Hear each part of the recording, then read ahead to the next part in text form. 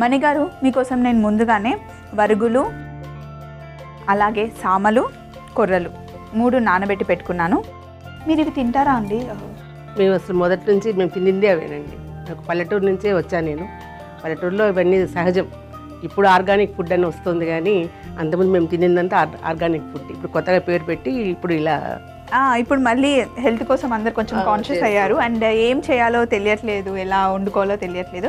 But నిజంగా ఇవి హెల్త్కి చాలా మంచివి చిరుధాన్యాలు. ఇవి కొంచెం నానబెట్టుకున్న తర్వాత పొయ్యి మీద గిన్నెలో ఆల్రెడీ నీళ్ళు మరుగుతూ ఉన్నాయి. ఇప్పుడు ఈ గిన్నెలు.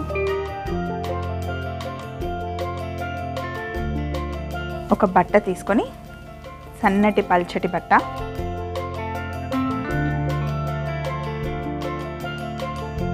ఫస్ట్ సామలు. ఇందులో చాలా ఫైబర్ ఉంటుంది. అలాగే ఐరన్ క్వాంటిటీ కూడా ఎక్కువగా ఉంటుంది. ముఖ్యంగా ప్రెగ్నెంట్ లేడీస్కి చాలా మంచిది. మణిగారు నేను చూపిస్తున్న ఈ రెసిపీని రెగ్యులర్గా చేసుకొని తినండి. అయితే ఇప్పుడు నేను వేస్తే వేసిన వెజిటేబుల్సే కాకుండా ఇంకా ఇంట్లో ఏ ఉంటే అవి బీట్రూట్ వేరే ఏ వెజిటేబుల్స్ ఉన్నా అవి మీరు యాడ్ చేసుకోవచ్చు. మీరు బీట్రూట్ ఎక్కువగా తీసుకోవడం చాలా మంచిది ఈ టైంలో. ఇవి కూడా ఇందులో వేసేసి ఒక స్పూన్ తీసుకుంటాం ఇవన్నీ ఇందులో వేసి ఒక్కసారి కలుపుకొని ఇలా కొంచెం పరిచి పెట్టుకుంటే తొందరగా స్టీమ్ అవుతాయి. మీకు డయాబెటీస్ ఉంది అంటున్నారు కదా ఈ రెసిపీస్ అన్నీ మీరు రెగ్యులర్గా చేసుకొని తినండి. కానీ ఒకేసారి ఎక్కువ క్వాంటిటీ తీసుకోకండి మణిగారు కొంచెం కొంచెం చాలాసార్లు తీసుకుంటే మంచిది. అప్పుడు సడన్గా షుగర్ లెవెల్స్ పెరగకుండా ఉంటాయన్నమాట. ఈ మూత తీసేసి ఒక పదిహేను ఇరవై నిమిషాలు చక్కగా స్టీమ్ రానివ్వాలి.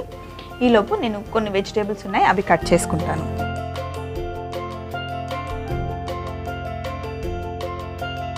ఇక్కడ పీలర్ ఉందమ్మా అది కొంచెం ఇస్తారా? రెడ్ కలర్లో ఉంది.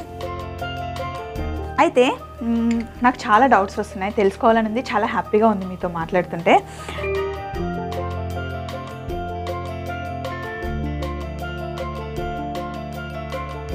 మీరు సంస్థ స్థాపించినప్పటి నుండి ఇప్పటి వరకు ఒకరు కంటిన్యూగా ఉన్న వాళ్ళు ఉన్నారు? ఉన్నారు ఉన్నారు ఉన్నారు. సో ఇప్పుడు మరి సంస్థ గురించి బయటకి తెలియాలి మీకు సాయం కావాలి అంటే ఎలా తెలుస్తుంది మనకి? మౌత్ టు మౌత్ ఆర్ అంతేనండి. మేము ఎక్కువ అడ్వర్టైజ్మెంట్లు ఏమి ఇవ్వం మేము అసలు. ఇవ్వను అన్ని కేసులు కావాలా అని కూడా మేము తీసుకోము. జనరల్గా ఎక్కడ చేయలేని కేసులు ఉంటే అవి మాకు వస్తాయి లాస్ట్ కిన్నెరాకు పంపండి అంటారు.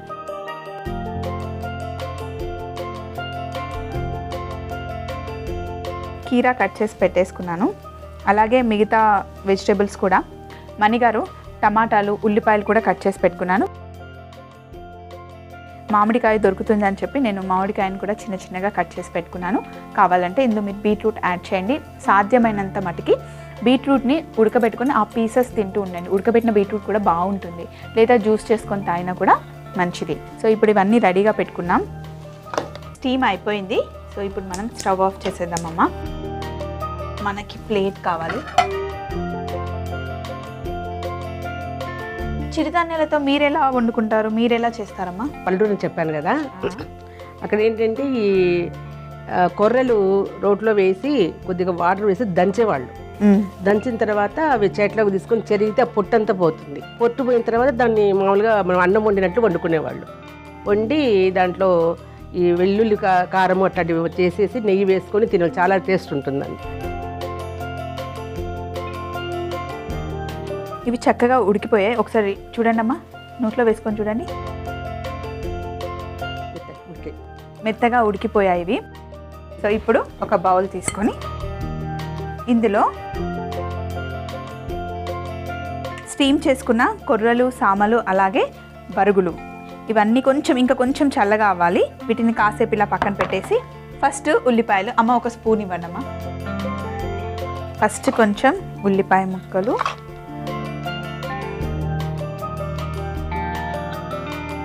అలాగే గింజలు తీసేసిన టమాటా ముక్కలు.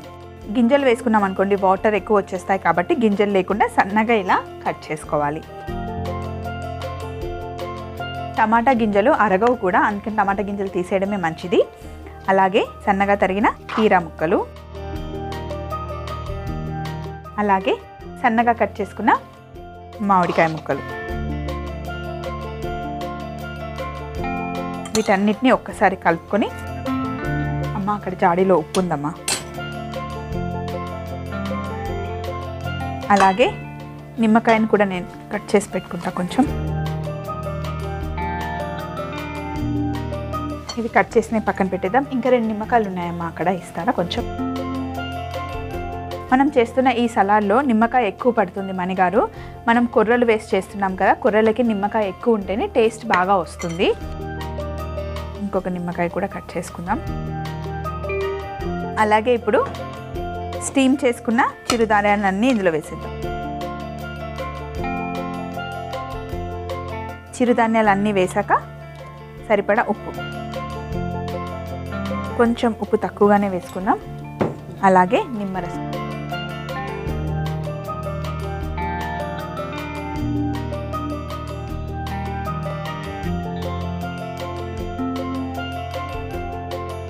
అలాగే కొంచెం కొత్తిమీర కావాలి.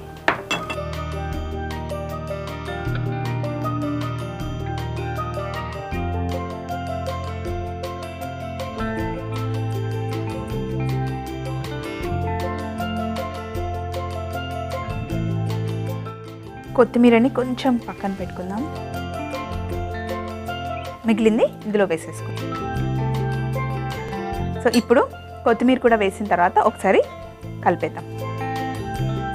దీన్ని పొద్దున ఒకసారి మీరు రెడీ చేసేసుకొని సాయంత్రం వరకు అప్పుడప్పుడు కొంచెం కొంచెం తింటూ ఉండొచ్చు. కావాలంటే లంచ్ బాక్స్ కూడా తీసుకెళ్ళొచ్చు. ఇందులో నిమ్మరసం వేసాం కదా.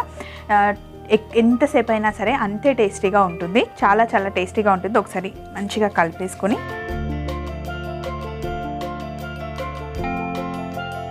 మిలెట్స్ సలాడ్ రెడీ అయిపోయింది. ఒక్కసారి కిచెన్ క్లీన్ చేసుకొని మనం ఒక బౌల్లోకి తీసుకుందాం.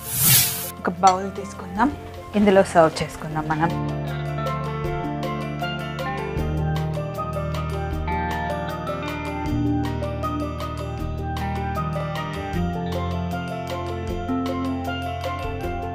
ఇప్పుడు పైనుండి మళ్ళీ కొంచెం కొత్తిమీర.